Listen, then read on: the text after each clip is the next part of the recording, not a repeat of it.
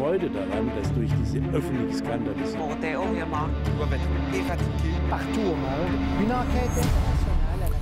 Well, it's a story that's made headlines around the world a massive leak of information on offshore tax havens, revealing millions of secret documents. Earlier this month, we showed you the lengths some of the super rich went to to keep that information secret. Now, meet the man who risked it all to make sure it got out. Our lead investigative reporter on this story, Frédéric Zalac, brings us the journalists in pursuit of openness.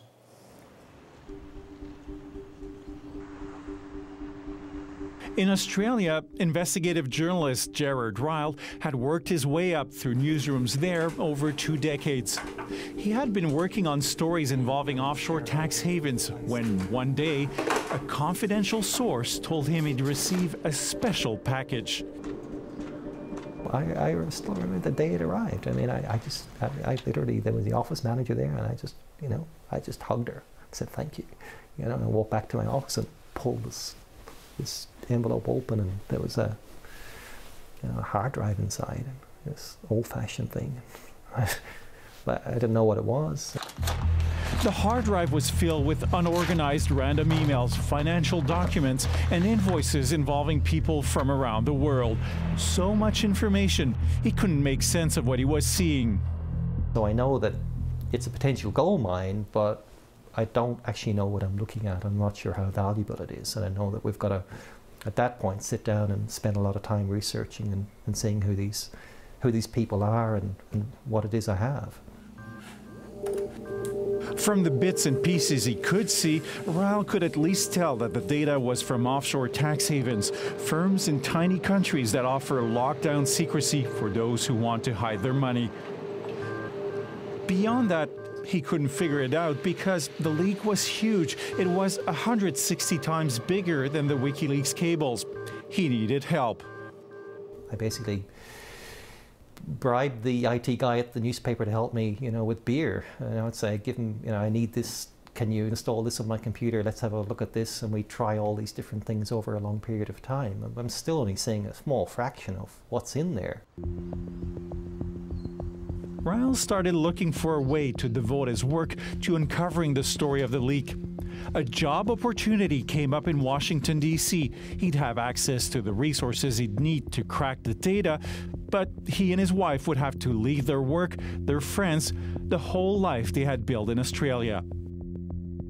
It was a huge leap of faith. You know, it was basically, you know, the chance to, to make a difference as a reporter, to tackle a big story. Sure, I'd had big stories in the past, but I really thought this was something that was worth doing, and I wanted to take the chance.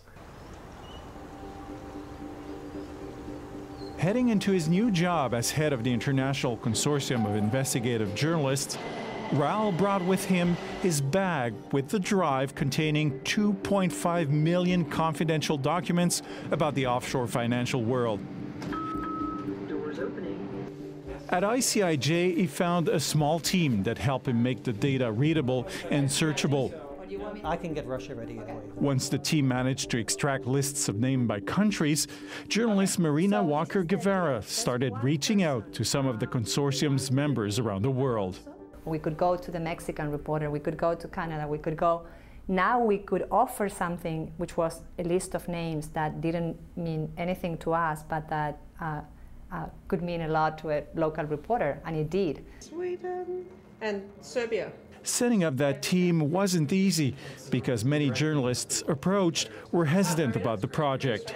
I showed um, the data to some, you know, very well-respected reporters in DC, American reporters, and some of the reactions I got, you know, shocked me. I mean, they they they looked at it and they just thought, well, it's clearly stolen material. I don't want anything to do with it, or they'd say, I just don't know how to read this. This is going to take too long.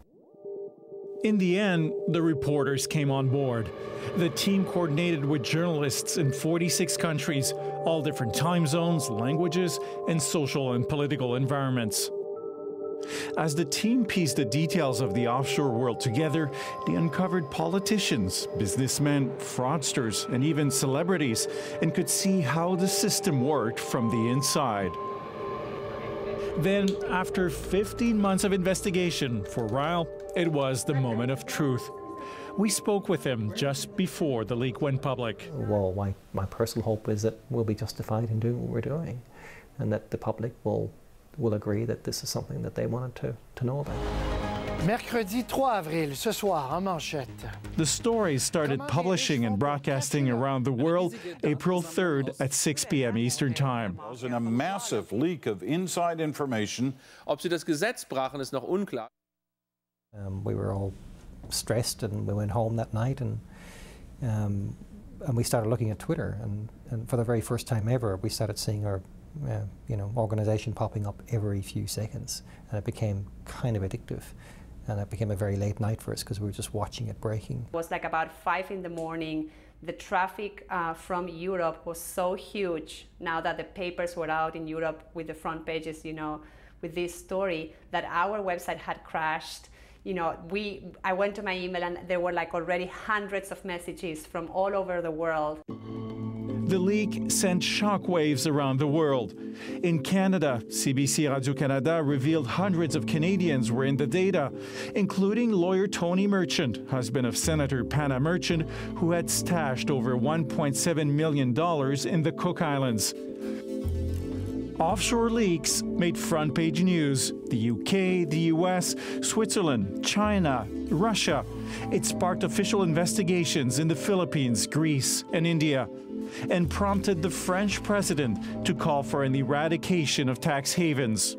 Parce que les paradis fiscaux doivent être éradiqués en Europe et dans le monde. The reaction from the governments, I think, that, that really made it for me. Probably the biggest reaction was from the French president who came out and said, let's get rid of all tax havens. Let's, and he set up a, a judicial uh, unit, I think, to look at it, to stamp out corruption. Um, but it was the broader message that he gave that this couldn't go along, you know, on any longer. Ryle's challenging journey and relentless efforts paid off with the help of dedicated journalists around the world. Well, we're being overwhelmed by the reaction. I mean, we weren't quite expecting it to be to be this big, but it's what you hope as a journalist. But um, and also you think you've picked a very good topic. Um, this is a hot button issue for people. People don't like the idea of others um, paying less tax than them. They like equity and fairness. So I think it's resonated with with the average person. Ryle, the ICIJ and its media partners plan to keep peeling away those layers of secrecy by publishing more stories in the coming year. Some of the biggest secrets from the hard drive in his small bag have yet to be revealed. For CBC News, I'm Frédéric Zalac in Washington.